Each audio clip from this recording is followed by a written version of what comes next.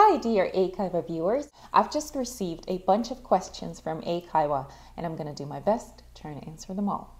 So, without further ado, let's get started. Do you have any siblings? No, I do not have any siblings. Only child here.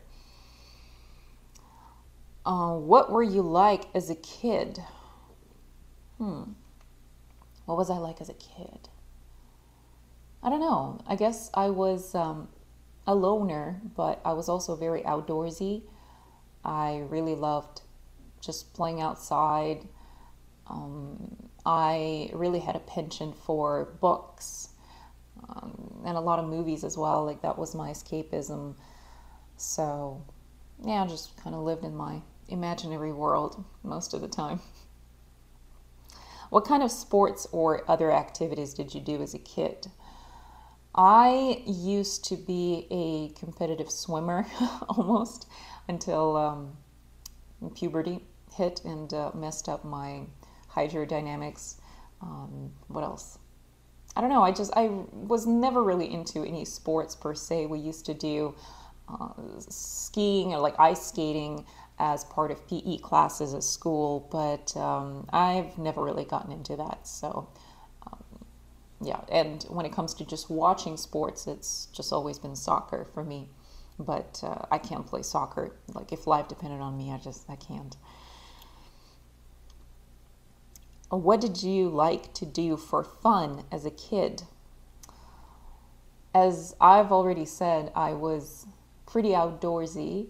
And um, if I was not playing outside, I would be reading books.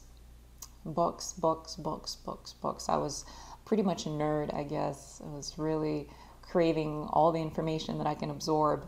And uh, movies. I think I fell in love with movies, with Hollywood when I was a little kid. I can't even remember what was the first movie I've watched, but uh, oh, Star Wars. I watched Star Wars on big screen, the second one. Did you have any part time jobs when you were a student? If so, what? Yes, I did have a few part time jobs. Uh, one of them was remote. I was developing different um, design elements for various websites because uh, I was kind of self taught Photoshop expert. I'm kidding, I'm I'm not that good with Photoshop, but um, good enough to book a few jobs, I guess. And then I was also a private tutor uh, of English and Japanese, believe it or not. what sports do you like? Um, I like soccer, just watching, not playing. Can't play soccer. What are three songs you like? Mm, this is a tough one, seriously uh, pick only three. Well, I have to go with David Bowie no matter what because, you know, he's my favorite artist of all time. So I would say Ashes to Ashes. I would say Roxy Music and Every Dream Has a Heartache. And uh, I'm tempted to go with something a little bit more current. So I'll say Måneskin, Honey. I've been listening to that song um, on repeat a lot. Yeah. What countries have you traveled to? Oosh. Uh, let me see if I can remember everything. It all started with Ukraine. Like my parents and I, we used to go to Ukraine uh, pretty much every year for like six years, seven years straight. Um, I went to Cyprus, I went to Spain, France, Belgium, Italy many times, uh, United Arab Emirates, Japan, um, United Kingdom, Mexico, uh, Georgia, mm, something else. I feel like I'm forgetting something else, but um, maybe not. Maybe this will cover it all. Can you tell me which country was the best? Why is that?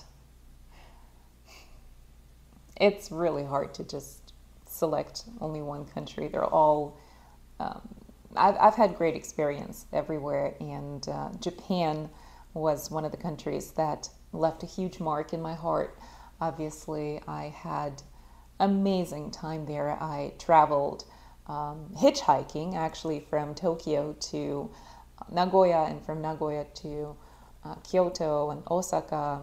And it was a crazy experience, but very rewarding and just fascinating. Helped me see different parts of Japan, meet so many amazing people along the way. Uh, I've lived in Japan for about three months, I think, so it was great. Paris is just mind blowingly gorgeous and fantastic. I would love to go back there, like, seriously, at any opportunity.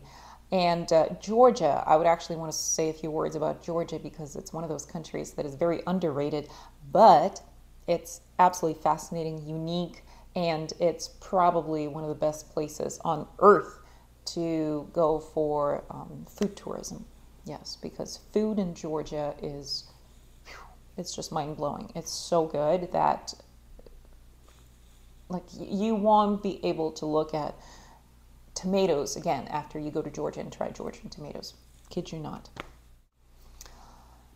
Uh, can you tell me about experiences with culture shock? Can you tell me what country it happened? Mm-hmm. Well, United States, maybe.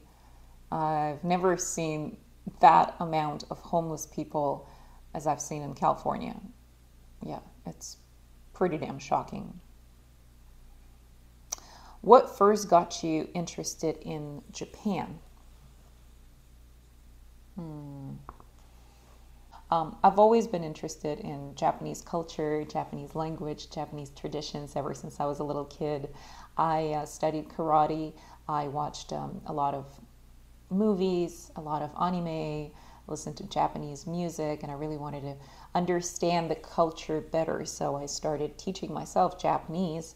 And um, I just feel like, from even philosophical standpoint, uh, Japanese mindset, or rather like traditional aspects of Japanese philosophy, Japanese approach to life, and yada, yada, yada. So I think um, that was also a big part of me that uh, got me into Japan and everything Japanese.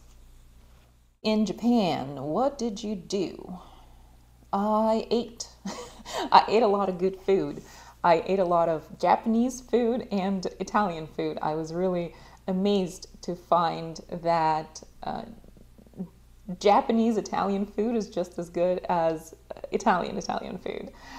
Um, what else? I traveled. I, as I said before, I hitchhiked. I hitchhiked uh, from Tokyo to Nagoya, from Nagoya to Kyoto, and from Kyoto to Osaka. Uh, don't do this, kids.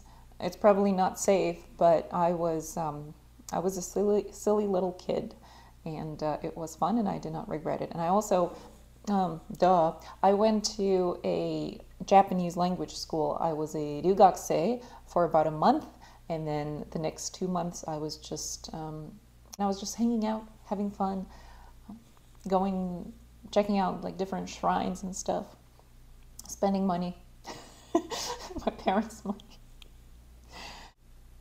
If you visited Japan again, what would you like to do? Hmm. I don't even think I need a specific plan because Japan is so fun and fascinating that um, I would definitely find a lot of cool things to do. I would love to finally make it to Nara because I haven't made it there uh, last time I was in Japan. I would love to spend more time in Kyoto. I would love to uh, go back to Osaka and uh, eat a lot more delicious food. And I would love to make it to Okinawa because it just looks so, so, so beautiful. And eat a lot of good food. Maybe I will try uh, fugu. Or maybe not, actually. No, no, I would not try a fugu. 実践的な英会話を短期間で効率よく身につけたい方は いろんなアメリカ人の生の英会話を学ぶのが一番です。英会話教材 This is 英会話ではアメリカ人約150人の生の英会話を紹介しています。概要欄に紹介していますのでぜひ見てください。それでは次回をお楽しみに。